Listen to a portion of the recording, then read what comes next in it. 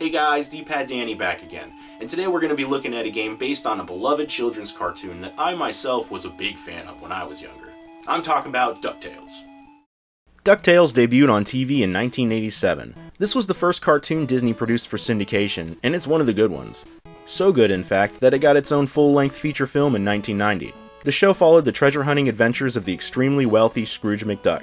Yeah, that guy, but he's not quite as crotchety now. Scrooge is often accompanied by his nephews, Huey, Dewey, and Louie. Donald is his nephew too. It's all very scientific.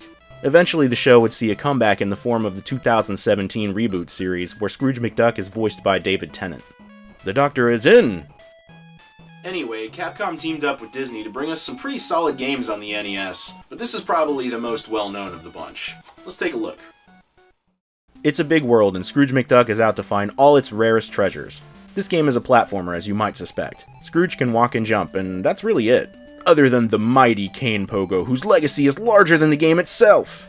This mechanic is pretty awesome, and you can see some of its inspiration on some newer games, like Shovel Knight and Panzer Paladin, which is really good by the way. Seriously, download this one if you have a Switch. Scrooge can also use his cane to smack certain blocks and rocks around. You can use these blocks and rocks to defeat enemies, but a lot of times it's just more fun to bounce on them. There's various enemies in each of the five stages, which are all far-reached areas around the globe, like the rainforests of the Amazon, the Himalayan mountains, the moon- the moon? Dude, he doesn't even wear a spacesuit. Is this guy related to Howard the Duck or something? The moon, huh? I guess I thought there'd be more whales. Like I said, there's different enemies in each area, and we're to go through each one individually.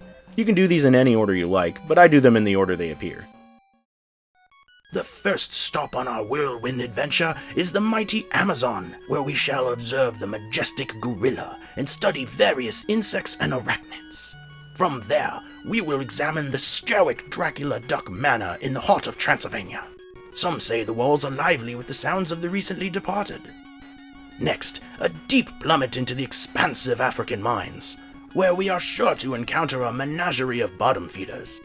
Afterwards, a brisk trip to the Himalayas to mingle with the local, um, goats. Oh, watch out for that! Finally, we'll explore the previously unexplored as we attempt to make contact with lunar creatures on the moon's surface.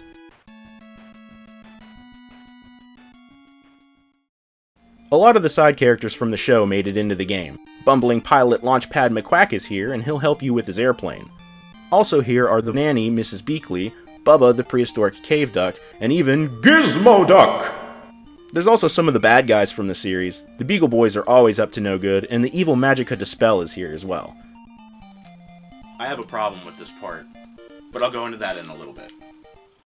There are hidden treasures and secrets all throughout the world. I'm not sure who left these diamonds just laying around, but hey, I'm not complaining.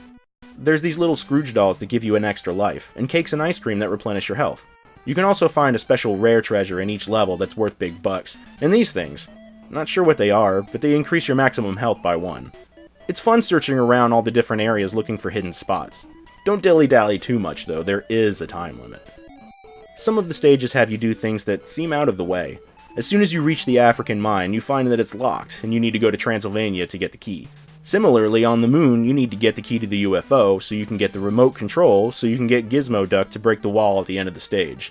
These things don't take too long, but it just seems unnecessary, like they were going out of their way to try to pad the game, which I guess makes sense because it's not a long playthrough by any means. Especially if you do stuff like letting one of these androids follow you so you can take damage and just clip through the floor.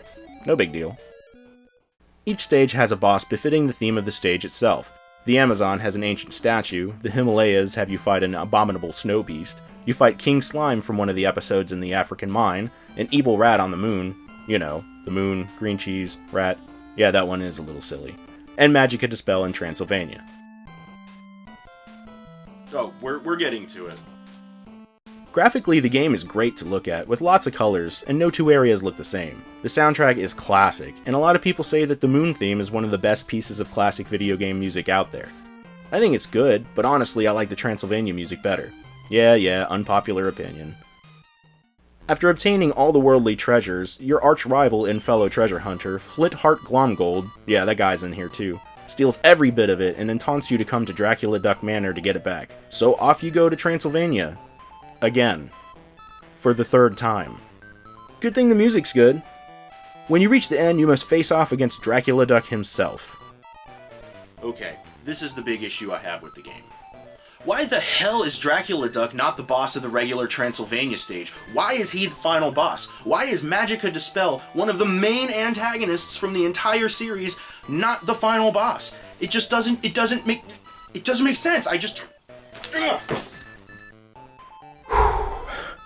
Sorry about that. After you beat Dracula Duck, Glomgold shows up and challenges you to a race to the top of the castle, where he just left all those treasures. Seriously, he just plopped them down like, eh, they'll be fine. Magica can only carry him so fast in her bird form, so you easily get there first.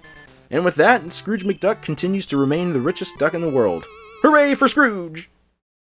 All in all, DuckTales for the NES is one of the classic greats, it's fun, it's not too difficult, and it takes such a short amount of time to beat that many people find themselves playing through this one frequently.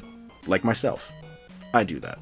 WayForward even worked with Capcom to release DuckTales Remastered on the PS3, 360, and Wii U, which is the version you're seeing here.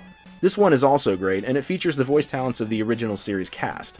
And speaking of voice talents, like I said, check out the new DuckTales series. They put together a real dynamite cast for that one. Well guys, that's DuckTales. It's a fun little NES game that I think everyone should play at some point. Anyway guys, as always, thank you so much for watching. I'm D-Pad Danny. I'll catch you next time. Life is like a hurricane here in Duckburg.